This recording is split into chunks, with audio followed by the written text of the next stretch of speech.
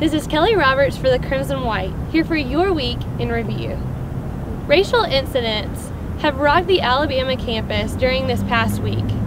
Last Friday, Justin Zimmerman was walking past the Delta Tau Delta house when a fraternity member yelled a racial slur at him out the window.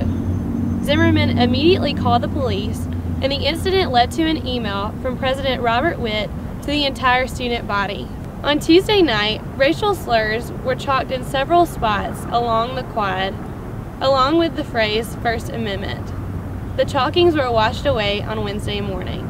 The Tide takes on the Ole Miss Rebels at Coleman Coliseum this Saturday at 3 p.m. The Tide is trying to preserve their undefeated streak at home and gain a spot in the top 25 poll of the Associated Press. At last week's Board of Trustees meeting, UA system administrators predicted a 10% cut in state funding for the university in the upcoming year.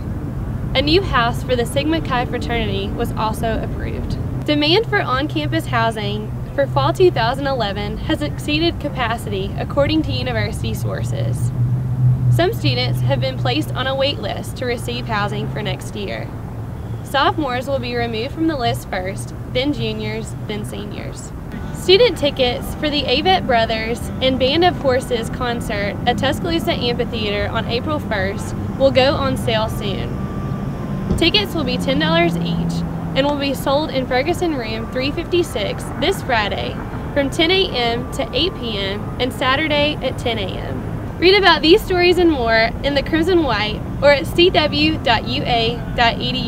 Have a great week and roll tide.